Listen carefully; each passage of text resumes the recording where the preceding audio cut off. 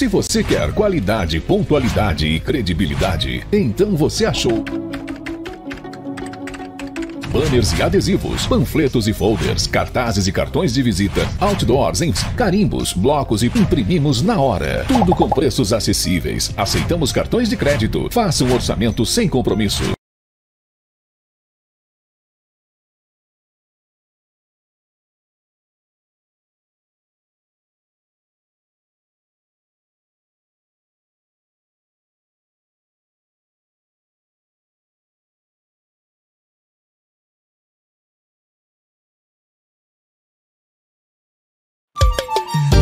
Que eu vou te falar, ela é mega popular. Sempre tem variedade e você vai gostar. Medicamentos e perfumaria, tem muita promoção. Preste muita atenção, é o melhor preço da região. Entregar em domicílio e aplicar injeção. É a drogaria, mega popular. É a drogaria, mega popular.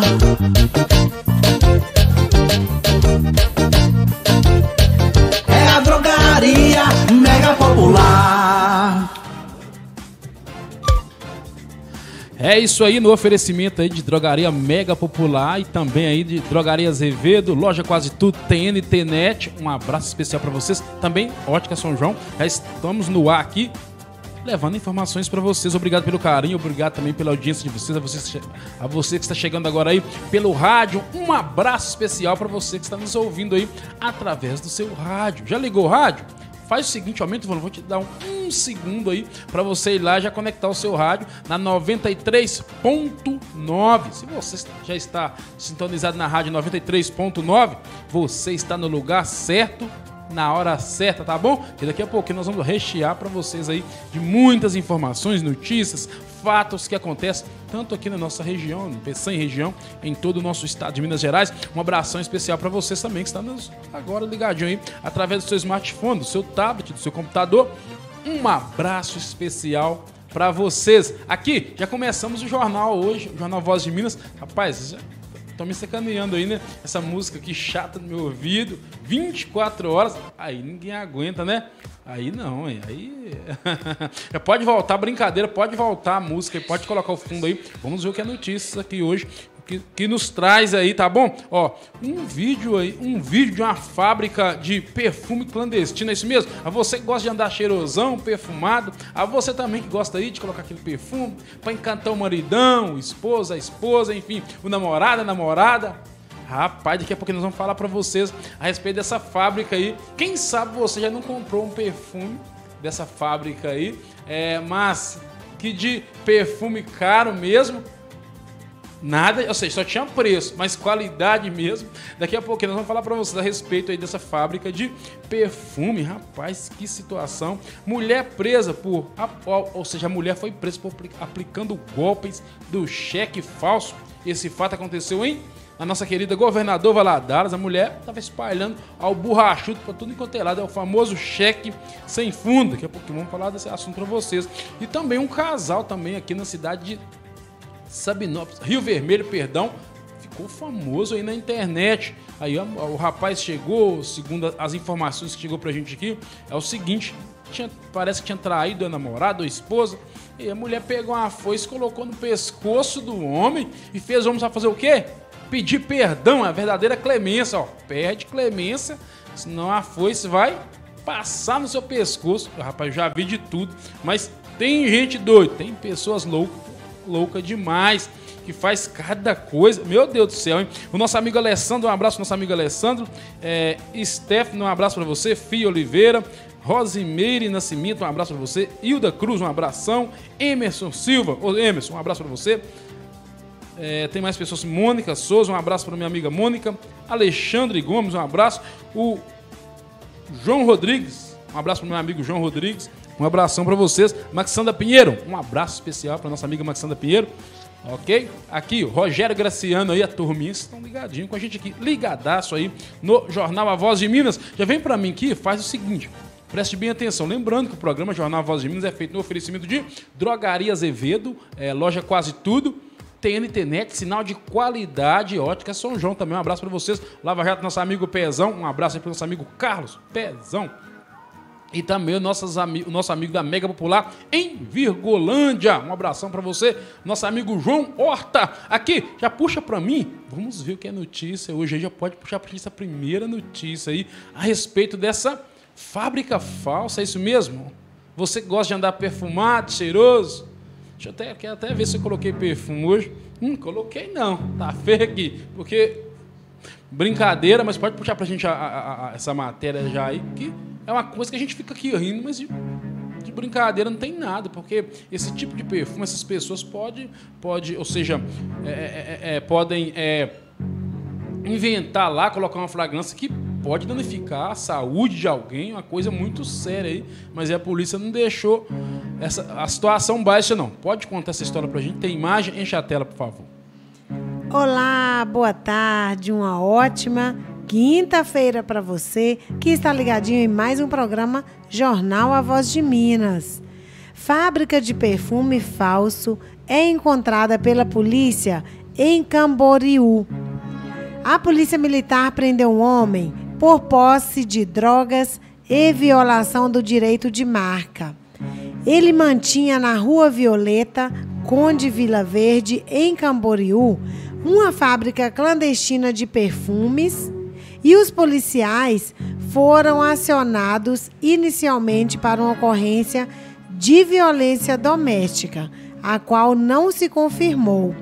Contudo, munidos de denúncia anterior dando conta do funcionamento de uma fábrica clandestina de perfumes, foi procedida a averiguação e localizados 444 frascos de perfumes diversos 52 frascos de perfumes diversos vazios, 129 garrafas de essências de perfumes diversos, 29 garrafas pequenas de essências diversas, 3 pés de maconha de aproximadamente 30 centímetros e 3 máquinas de cartão.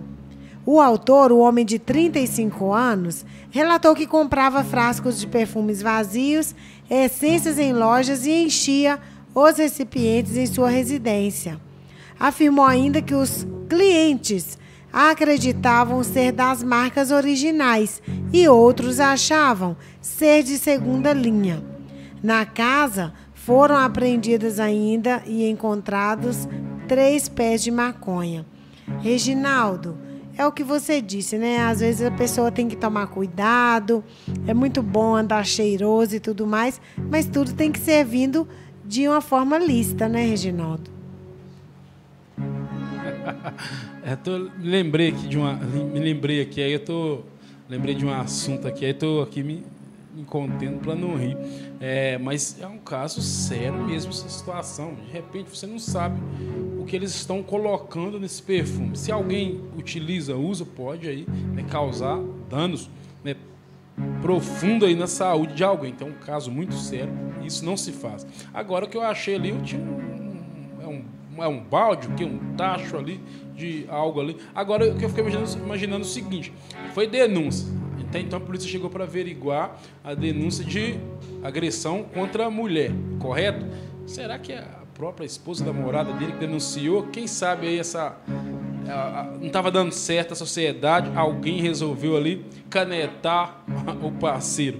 Meu Deus do céu. Aqui já vem para mim, preste bem atenção, também em Governador Valadares, uma mulher estava toda de boa, tranquila, chique, andando pelas ruas, sossegada, só comprando. Comprava ali, comprava ali, comprava colar e assim sucessivamente, mas aí estava distribuindo cheque. E quem estava vendendo, ainda mais aí o comércio, situação meio complicada, o cara olhava o cheque e falou: opa, esse é bom. Já colocava na gaveta, no final da tarde, fechamento do caixa, meu amigo, rombo era grande. Pode contar pra gente essa história aí? Tem a imagem, enche a tela. Mulher é presa por aplicar golpes com cheques falsos em Valadares. Uma mulher foi presa na tarde de ontem, quarta-feira, por estelionato na cidade de Governador Valadares. Ela e o homem aplicavam golpes por meio de páginas de comércio. Segundo a Polícia Civil, as investigações começaram após denúncia de uma vítima ela recebeu é, a venda de um notebook em cheque. Ao tentar resgatar o valor, descobriu que a folha de cheque era falsa. O homem se passava como dono de uma empresa e comprava aparelhos como celular, notebook, fone de ouvido via online. Em seguida, uma mulher que se passava por funcionária buscava a mercadoria e fazia o pagamento. De acordo com a Polícia Civil, a mulher passou a ser monitorada. Ela confessou o crime e a polícia recuperou um celular e um fone de ouvido, além de apreender folhas de cheques e cartões de apresentação da empresa, ambos falsos. A mulher foi presa em flagrante e encaminhada à delegacia. Reginaldo, essa, esses crimes assim, né? É, muitas pessoas às vezes é, ficam um pouco desatentas, né, Reginaldo? Olha para você ver a questão da, do, da folha, do cheque, né? Nem sempre as pessoas têm muita atenção em olhar uma folha de cheque. E, e precisamos entender que tem pessoas realmente com mentes maldosas e estão aí no mercado, no comércio, para agir dessa forma, enganar as pessoas, né, Reginaldo? Parabéns à Polícia Civil que fez esse belo trabalho. Com certeza. Agora, olha só, na, na nossa querida Itaiomi, Itaiomi mesmo, né?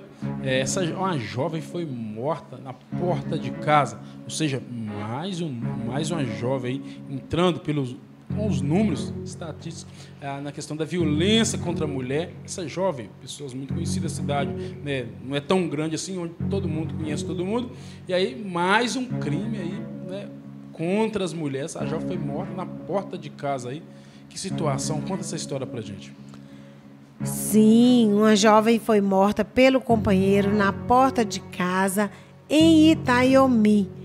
Uma jovem de 18 anos foi morta a tiros pelo companheiro na porta de casa no bairro São Geraldo, no município de Itaiomi, na tarde de ontem, dia 29. O homem de 25 anos se entregou à polícia logo após o crime e foi preso.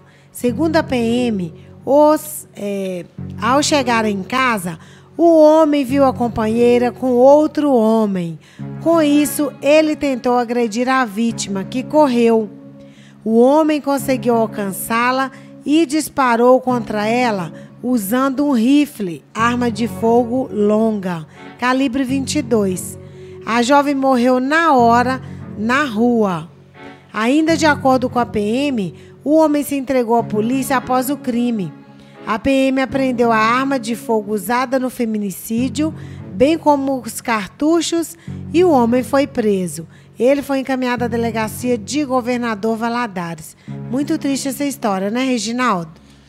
É, a verdadeira caça, né? Chegou, estava com outro, com outra, outra pessoa, a namorada que se, é, dele com outra pessoa, falou: Olha, não gostei, não. A jovem correu, viu, avistou, correu.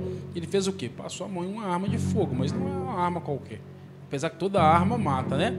Porém, é um rifle, a verdadeira caça mesmo. O cara saiu para caçar, falou: Olha, vou matar. Então a jovem correu, por mais que essa jovem é, tentasse se esconder, correr não adiantaria que o rifle é uma arma aí que busca longe. Então acabou aí alvejando essa jovem com tiros de rifle. Que situação, que triste demais, né? Aqui, já vem para mim, você já mandou suas mensagens? Mandou mensagem? Ainda não mandou? Dá tempo de mandar. Se você mandou sua mensagem, agora eu vou ler sua mensagem, sua participação. Participe com a gente aqui. Manda um oi, manda uma boa tarde, manda um bom dia. Hoje vale tudo essa quinta-feira. É, quinta-feira aí, solzinho meio quente, meio calor. Mas aí, choveu. aqui estamos nós. Choveu não, ali começou a serenada, não choveu ainda não.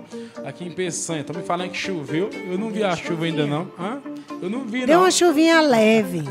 Ah, discorde aqui, eu não vi não. Aqui, pode ler as mensagens pra gente. Obrigado a todos vocês pelo carinho, pela audiência de vocês. Muito obrigado, obrigado por você estar conectado aqui com a gente.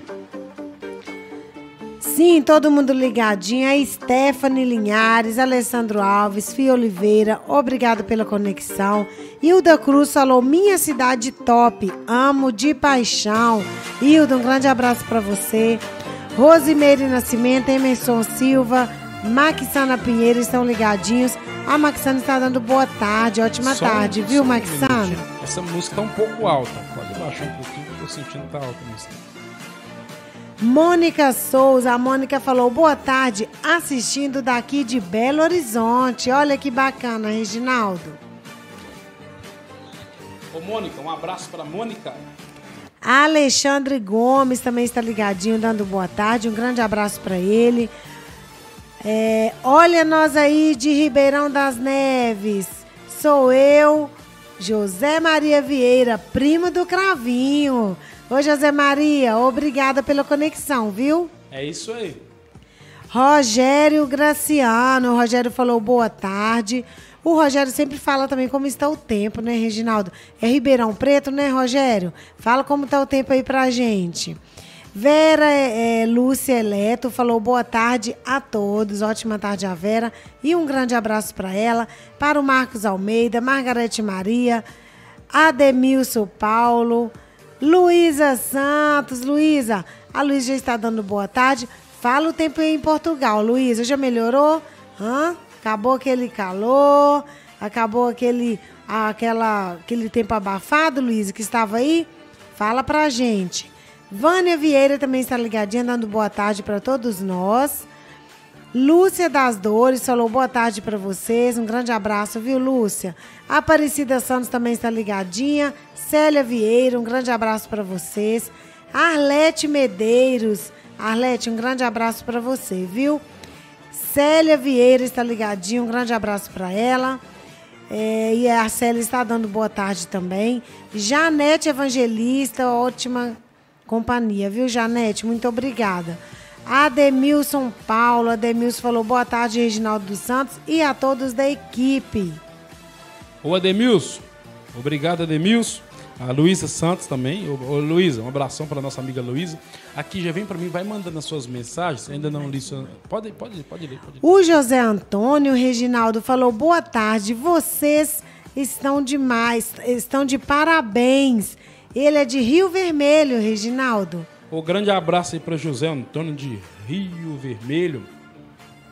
A Luísa Santos que o tempo falou que o tempo está mais abafado lá em Portugal. Meu Deus, esses dias muito quente aí, né, Luísa? Cadê a galera, Luísa? Manda um grande beijo para a Daniela Leitão, a irmã da Daniela, a Fabiana, Porfírio Santos. Cadê a galera? Fala aí pra gente quem está com você hoje, Luísa. Um grande abraço. Ué, tô vendo aí, essa, a turma aí é só todo mundo aí Santos. Luísa Santos, é, Porfírio Santos, Daniela Santos, todo mundo tem sobrenome de Santos, é isso mesmo? Hã? É, todo mundo assim. Se vocês são parentes, Luísa, fala pra gente. O Gleison Gomes também está ligadinho, Reginaldo, falando boa tarde. Ligadinho em vocês dos Estados Unidos. Ô, valeu, Gleison. Aqui, já vem pra mim, você ainda não mandou suas mensagens, dá tempo de você mandar sua mensagem, participar com a gente aqui. A você do rádio aí, uma ótima tarde para você. Aqui, preste bem atenção nessa história. É, aqui na Santa Maria de Suaçuí, houve mais apreensão de arma, é isso mesmo? Pode contar essa história pra gente aí? Sim, Reginaldo, Santa Maria do Suaçuí, um homem foi preso, um homem de 64 anos, é, por porte ilegal de arma de fogo. Durante a Operação Mateus 5.9, fase 9, os militares de Santa Maria do Suaçuí apreenderam a arma de fogo e prenderam o autor por porte ilegal de arma de fogo de uso permitido. O homem de 64 anos portava, portava um revólver calibre .32 municiado com sete cartuchos, sendo seis intactos e um deflagrado. Depois de denúncias de que o autor estava ostentando a referida arma de fogo na cidade, os policiais abordaram o homem e com ele foi localizado no bolso da bermuda um revólver calibre 22, seis cartuchos intactos .22 e um cartucho deflagrado .22. Segundo o autor, ele andava armado para defesa pessoal. Ele foi preso e encaminhado à delegacia de plantão em Guanhães. Defesa pessoal. É, agora vai explicar para o delegado aí essa questão da arma de fogo. Aqui, agora já vem para mim. Esse fato aconteceu foi em Rio Vermelho. Só confere para mim. Olha só, uma jovem Foi Rio com Vermelho. uma foice. Correto? Até então, você me pergunta, como assim? A jovem com uma foice? Vai fazer o quê? Vai cortar a cana, tirar a lenha? Vai fazer o quê com essa foice? Calma que eu vou te contar. Pegou a foice e colocou no pescoço do namorado. A informação que chegou pra gente é que é o seguinte, que o namorado é, havia sobre uma traição. Só que o namorado ao chegar, ela falou, pegou a foice, colocou no pescoço dele e falou o seguinte, é, você me traiu, agora você vai pedir perdão. Pede clemência. Aí com a foice ali no pescoço do jovem, o jovem ali paradão, todo parado ali naquela situação. E aí ela falou: Olha, pede perdão, pede clemência, porque vou puxar, vou puxar. E o rapaz ali tremendo ali, né, bambeando todo ali naquela situação. Mas aí, rapaz, olha que situação. E esse vídeo aí viralizou aí né, na, na região, viralizou aí nas redes sociais, tanto nos grupos do WhatsApp, viralizou. Só que, só que, foi uma fama repentina, porque a polícia ficou de olho, a polícia civil é, ficou de olho na situação. Chegou ao conhecimento da polícia civil, meu amigo, não deu outra. A polícia foi investigar e aí o caso se tornou, sabe o quê? Caso de polícia. É isso mesmo. Pode contar a história pra gente aí? Se você tiver imagem, enche a tela, por favor. Ontem recebemos É, Reginaldo, vídeos. neste fim de semana, o último, um casal de Rio Vermelho ficou famoso nas redes sociais depois de um vídeo bem inusitado onde um jovem de 22 era ameaçado por sua companheira de 17 anos. No vídeo, a jovem colocou seu companheiro de joelhos e com uma foice no pescoço dele o obrigava a pedir perdão por uma possível traição. O jovem demonstrava ser bem passivo e já ter sofrido outras violências físicas. Havia várias marcas pelo corpo. O vídeo tomou conta das redes sociais e acabou chegando ao conhecimento da polícia de Sabinópolis, que imediatamente entrou no caso. De acordo com o delegado Dr. Wiener de Souza, ao tomar conhecimento do fato, achou bem estranho visto que as ações de violência entre casal, na maioria das vezes, o agressor é o homem. Ciente dos fatos, a Polícia Civil foi até a casa da jovem e, ao questioná-la, Reginaldo, sobre o ocorrido, ela amenizou a situação, dizendo que tinha apenas acontecido uma briguinha de casal e dispensou providências. Mas, de acordo com o Dr. Wiener, as imagens dos vídeos são chocantes e revoltantes, comprovando tortura. Ainda de acordo com o delegado, mesmo contra a vontade do companheiro, a vi- é, vítima do caso, a jovem vai ter que responder pelo ato infracional praticado, pois trata-se de uma ação penal pública, incondicionada, que independe de representação da vítima. Meu Deus, Reginaldo, que isso, hein? Se essa onda pega, hein? As mulheres começaram a colocar foice no pescoço dos homens. Agora só, daqui a pouquinho nós temos aí um vídeo do delegado explicando sobre esse caso. Ou seja, a polícia chegou, ela falou: não, doutor, nada não. Uma briguinha de casal, briguinha, uma discussão de casal. Volta a imagem lá. Olha, olha, rapaz, que situação. Quer dizer, foi nada não, briguinha de casal. Pode voltar, não sei se você consegue voltar a imagem, olha lá. Ali, ó, a ferramenta ali, a foice no pescoço do jovem. E aí, a, a- a polícia chegar e perguntá-la. Ela falou: não, nada não, isso é uma briga, foi uma briguinha de casal, uma discussão. Estávamos de cabeça quente. E aí, foi nada não, doutor. Tá tudo, tá tudo tranquilo. Rapaz, briguinha de casal essa aí? Ah, sei não. Coloca o delegado para explicar sobre esse, esse fato aí lamentável. alguns vídeos que são decorrentes da rede social e a nossa delegacia de Rio Vermelho já deu andamento no procedimento investigatório. São imagens revoltantes, impactantes, que, conforme disse, já deram ensejo à instalação do procedimento investigatório. São imagens também, de certa forma, até, até meio cômicas, né? porque na nossa cultura estamos acostumados, na, na relação íntima de afeto, ter a figura do homem como a figura do agressor. E nesse caso desse vídeo que temos é totalmente ao inverso, né? temos a mulher como a figura da agressora e o homem como a vítima no caso concreto, é, o que desde já afasta a aplicação da Lei Maria da Penha. Eu, eu, eu tratei hoje pela minha paixão, porque você não merece não, você tá certo, você tá cansado de serviço mesmo assim, eu fiquei te amolando. Você falou que as coisas comigo lá e tal, mas... Hum. Mas eu tava errado, por um lado eu tava errado também, e... Eu queria pedir perdão, sério mesmo. Você tem certeza? Eu tenho. Então vai pra cá e pede perdão direito. Não perdoo. Tem certeza que não é porque eu quase te matei? Você sabe muito bem o que, que você fez, então. Tem certeza? Eu tenho. Bom, esse aí, o delegado acabou de explicar, e aí a mulher ali questionando ali o, o namorado, entre aspas, namorado ali, falou, você tem certeza? Tem certeza?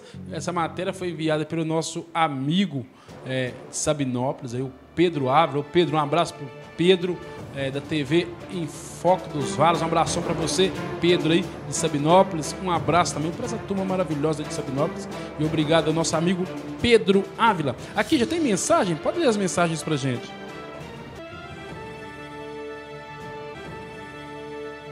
Sim, a Elaine Ferreira está ligadinha, dando boa tarde a todos vocês. Obrigada, Elaine. Um grande abraço.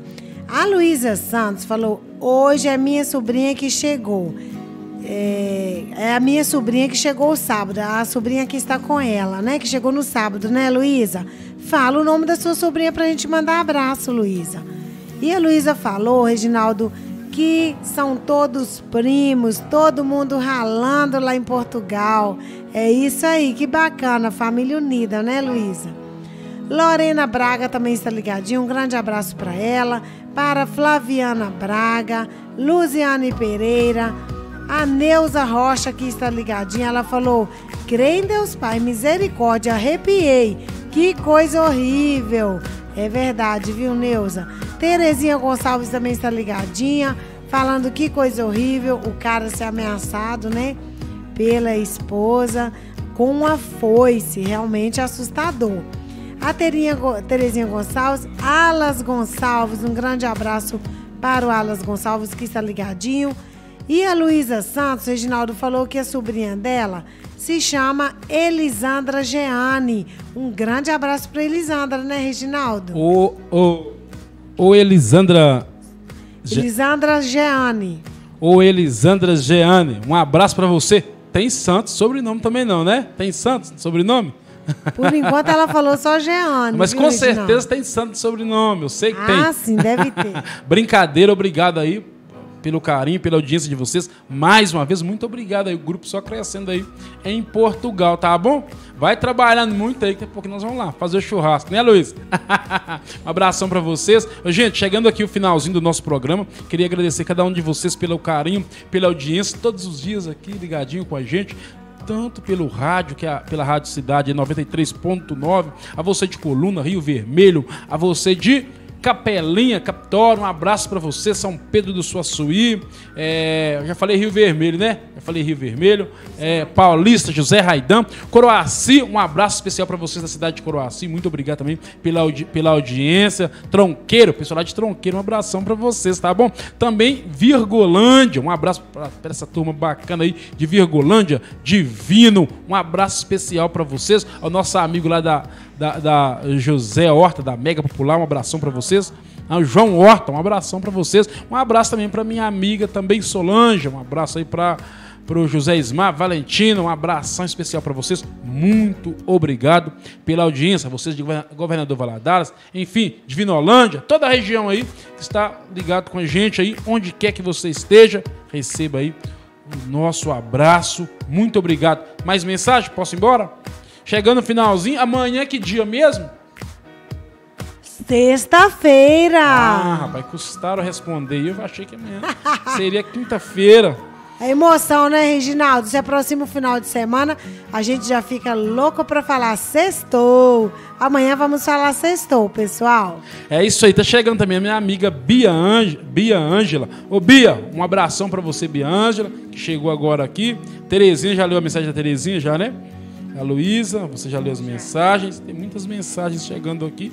Mas agora estou de partida, estou indo embora. Até amanhã, se Deus quiser. Amanhã aquele encontro marcado. Vocês não podem perder aqui o nosso encontro amanhã ao meio-dia com muito, muito mais informações para vocês. Tchau, fui.